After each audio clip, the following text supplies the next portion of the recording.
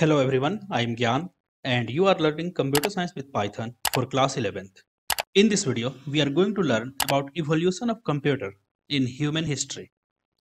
Evolution of computer. See, computers have evolved from the very basic calculator to modern day complex microprocessor. In earlier days, the computers were just simple calculators and nowadays you know how complex the processors are. You know about the Intel, you know about the AMD, you know that how complex processors they are making. So computer have evolved a lot. In this video, we are going to see the history of evolution of computer. And we are also going to see few basic principles which are still being used by the modern computers. This is the timeline that how computers evolved. The story starts from 500 BC. This was about 3000 years ago. People have invented a abacus computer. That was the mechanical device capable of doing some arithmetic calculations like adding two whole numbers, etc. After the 500 BC, the other major change comes in 1642. In 1642, they have invented something a mechanical calculator known as Pascal calculator. This calculator was also called Pascaline. This calculator do addition and subtraction of two numbers directly and multiplication and division through the repeated addition and subtraction. So the Pascal calculator was little bit more advanced than the abacus calculator. In 1834, there was another major change that was analytic engine. Charles Babbage. Charles Babbage is also called the father of computer. So Charles Babbage invented something called analytical engine. That was a mechanical computing device for inputting, processing, storing and displaying the output. This analytical engine was looking very much like modern day computer because that analytic engine was accepting the input, was processing on the accepted input, was storing and displaying the result as the output. Okay, so this analytic engine was the first form of the basic modern computer. That's why Mr. Charles Babbage is known as father of computer. After 1834, in 1819, there was another major change.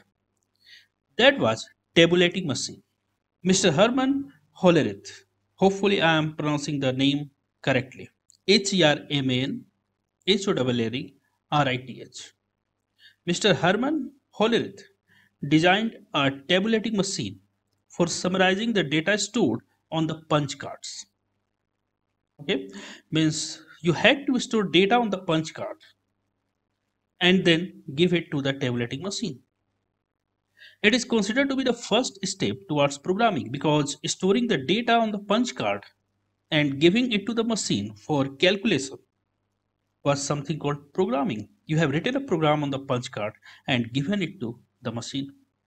The another major big change in the computer happened in 1937 by Mr. Alan Turing. Mr. Turing given a Turing machine and here the modern day computer was start evolving out of these very small type of computers.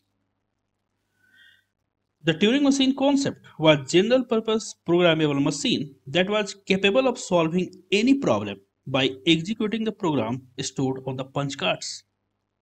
So you have the punch card, you store the program on the punch card, give it to the machine and say the machine to execute that program on the punch card.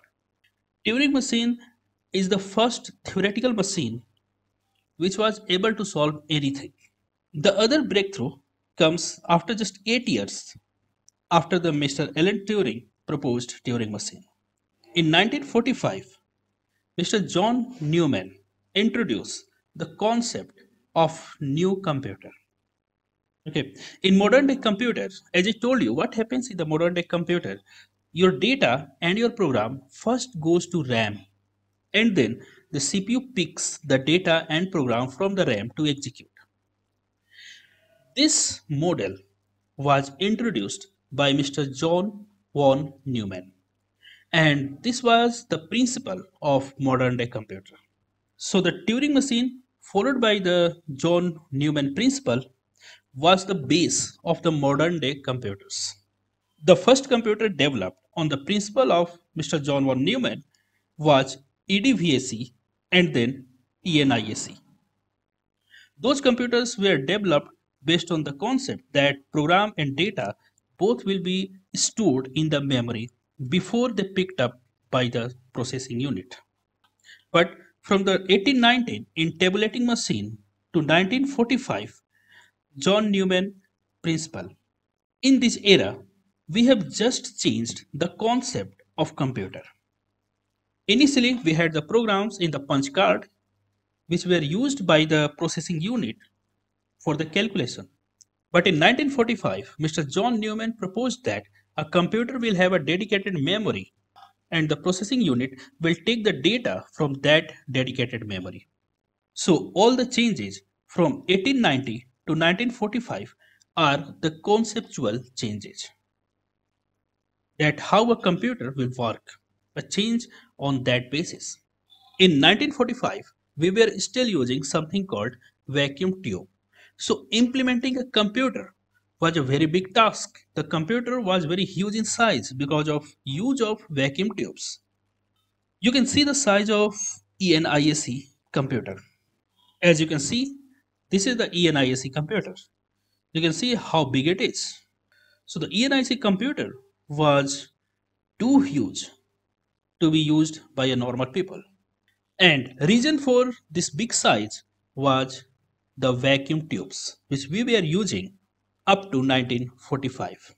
But after 1945, humans were able to discover something called transistor. And transistors was relatively small in size. Vacuum tubes were replaced by transistors. Transistors were developed at the Bell Labs and the transistors were using semiconductor materials. If you don't know what the semiconductor materials are, you will learn it in your modern physics syllabus. Therefore, the introduction of transistors, which are consisted of semiconductor materials, was a big change in the field of computers. Transistors made the computer very small in size.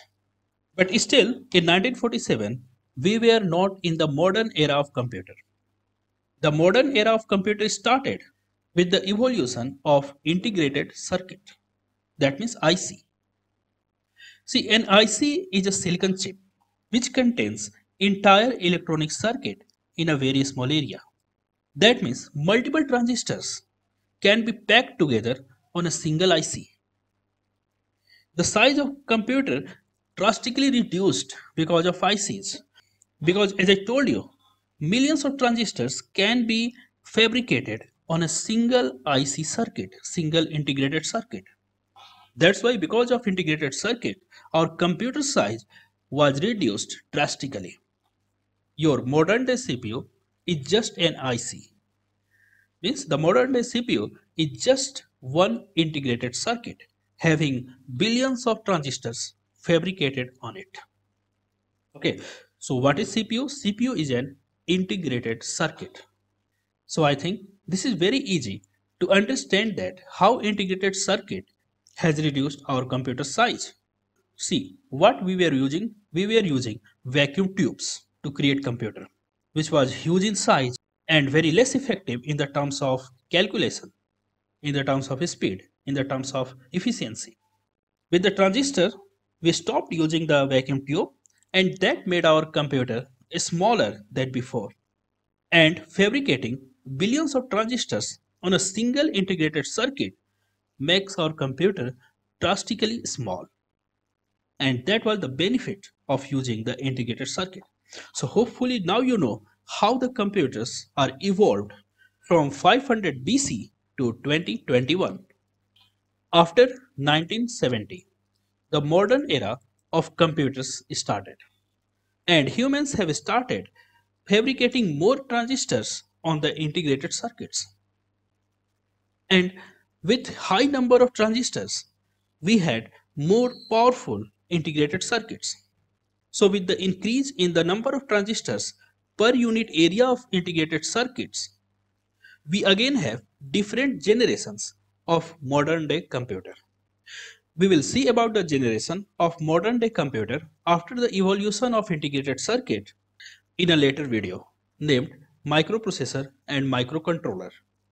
So the modern day computer started with the integrated circuit and even after the integrated circuit we started packing fabricating more number of transistors on the single circuit and based on how many transistors you have on the single circuit we had gone through multiple generations of the computer that we will see in the later video named microprocessor and microcontroller.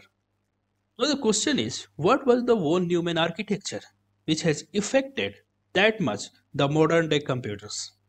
So as you can see here, according to Mr. von Neumann, everything which input to the computer first goes to memory and the CPU picks that data or program from the memory for execution. The von Neumann architecture is shown in this picture it consists of central processing unit that means CPU for processing of arithmetic and logical instructions as we have seen in the earlier videos. And this computer has a memory to store data and programs. Okay, so this computer has a central processing unit and a memory. So whatever data comes to this computer first resides in the memory before it goes to the CPU.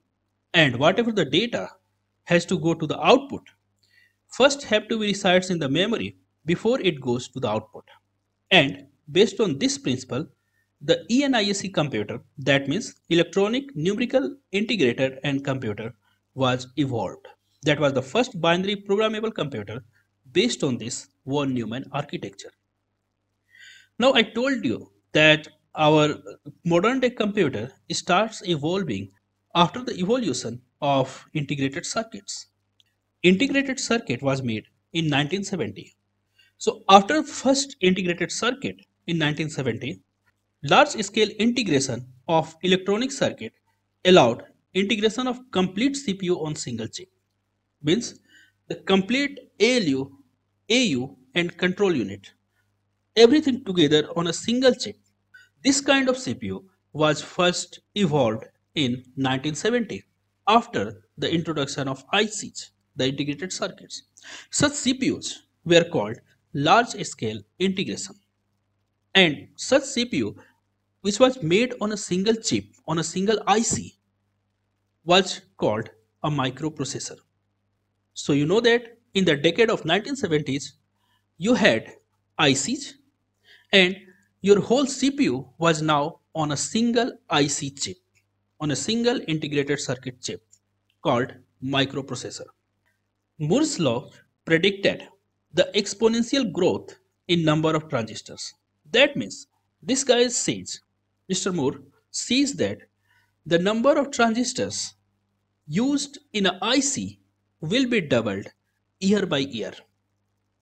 Okay, means suppose that nowadays I am using two transistors in one chip.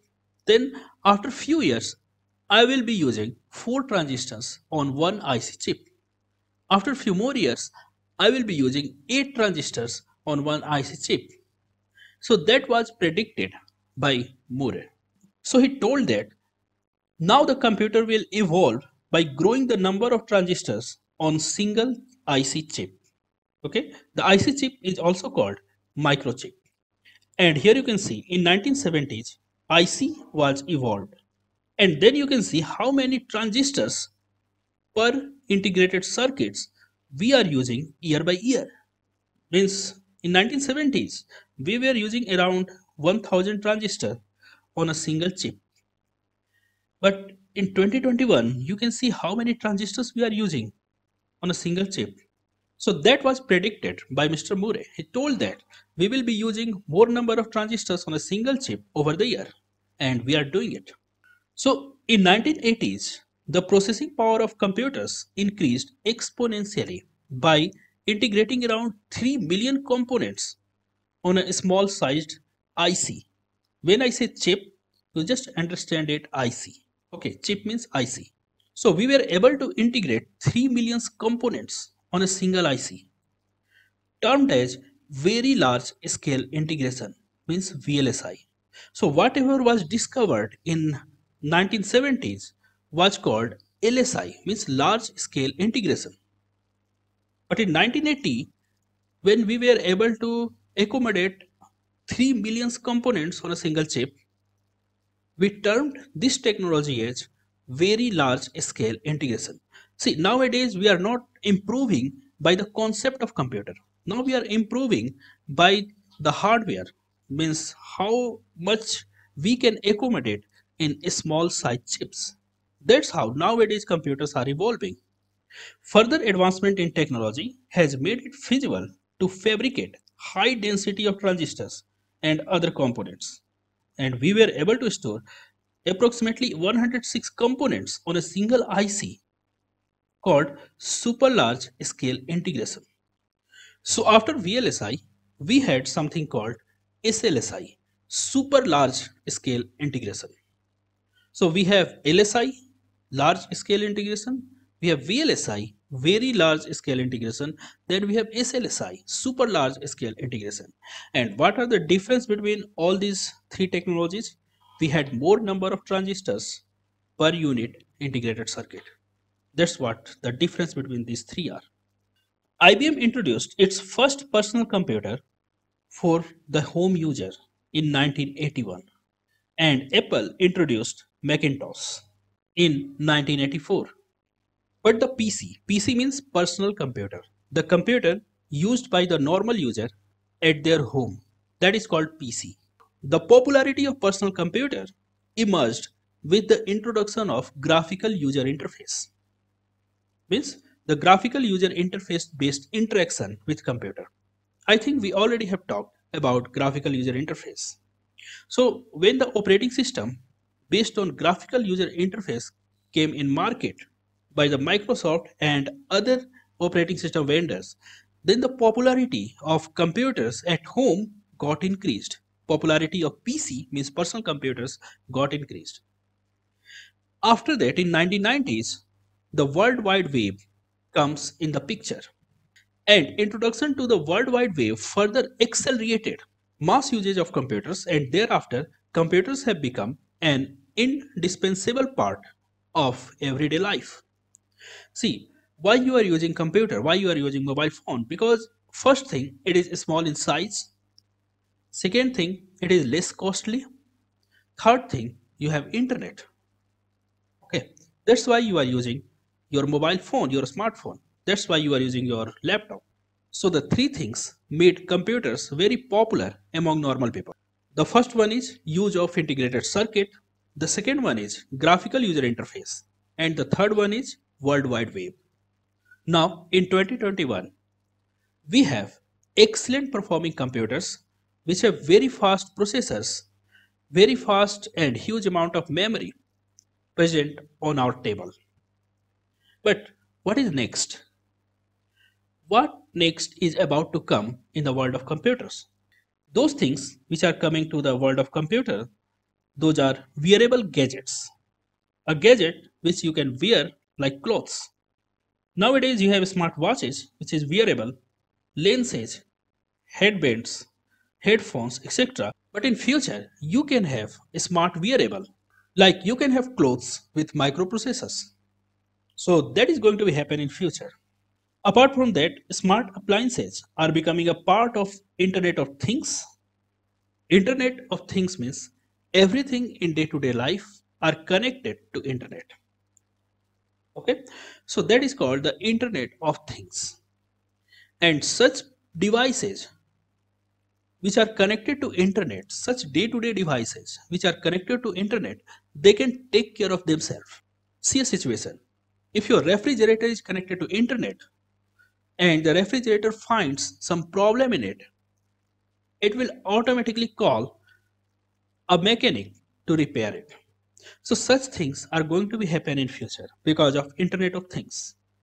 And the Internet of Things is possible because of two other technologies. One is the web services and other one is artificial intelligence. You may not know about these technologies, but these are future of computers. So hopefully you got all my points and you know that how computers have evolved from 500 BC to 2021 and what is going to be future of computer.